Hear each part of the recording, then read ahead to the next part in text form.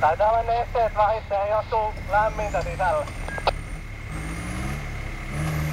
Joo, tota noin, niin siinä pystyt ajaa sivuun, niin mehän voidaan hakea nestettä.